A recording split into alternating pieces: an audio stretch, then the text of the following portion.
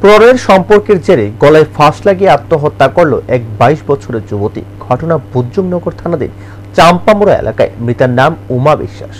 হাইরে ভালোবাসা, আবারও ভালোবাসার সম্পর্কের জেরে গলায় ফাঁস লাগিয়ে আত্মহত্যা করল এক বাইশ বছরের যুবতী। মৃত যুবতীর নাম উমা বিশ্বাস। বাড়ি খয়েরপুর এলাকায়। পরিবারের লোকজনরা জানায় উমা গোর্খাবস্তি এলাকার জগন যাদব নামে এক যুবকের সাথে ভালোবাসার সম্পর্কে প্রায় অনেক বছর ধরেই ছিল। বুধবার উমা তার ভালোবাসার সঙ্গী জগন যাদবের সাথে ঘুরতে বের হয়। জানা যায়, উমা সকাল নয়টায় বাড়ি থেকে বের হয়ে দুপুরে বাড়িতে আসে কান্না করতে করতে। এমনটাই বললেন উমা বিশ্বাসের পরিবারের লোকেরা। পরিবারের লোকেরা আরও জানায় যে জগন যাদব নামে গোর্খাবস্তি এলাকার ওই যুবকের সাথে ঝামেলা হয়েছিল উমা বিশ্বাসের। বুধবার উমা বিশ্বাসের বাড়িতে বাড়ির লোক কেউই ছিল না। সকলের অজান্তে উমা গলায় ফাঁস লাগিয়ে আত্মহত্যা করে। বৃহস্পতিবার সকালে বাড়ির লোকেরা এসে দেখতে পাই যে উমা বিশ্বাস গলায় ফাঁস লাগিয়ে আত্মহত্যা করেছে। ঘটনা তো আপনার কালকে তো ছেলেরা একটা ছেলের সাথে শিব আসলো আমার বোন, কালকে তারা ঘুরতে বেরিয়েছিল।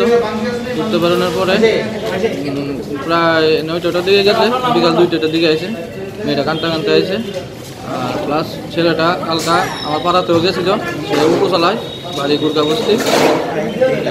তারপরে আমরা পাড়ার মধ্যে গিয়ে সেটা আমার বোনকে হাতে থেকে মোবাইল টোবাইল নিয়ে মোবাইল টোবাইল ভেঙে টেঙ্গে গেলেছে তারপর মেয়েটা কালকা বাড়িতে আসলো বাড়িতে আস বাড়িতে আসলো বলতে এক লাখ খালি বাড়িতে আসলো এই আমার পিসিমণি বাড়িতে আসলো না।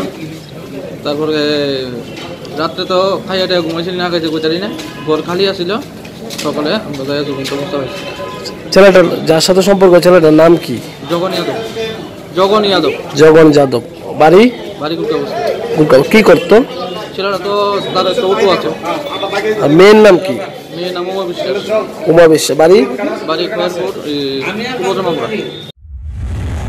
এদিকে পরবর্তী সময় খবর পেয়ে ছুটে আসে পুলিশ।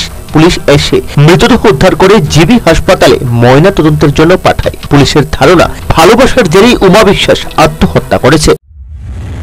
ওই তো সকালে আমি যখন আহ, ফোন আসে একটা তারা গ্রামের থেকে যে একজন মেয়ে উমা বিশ্বাস নামে বাইশ বছরে এই বাড়িতে হ্যাং করছে আর কি।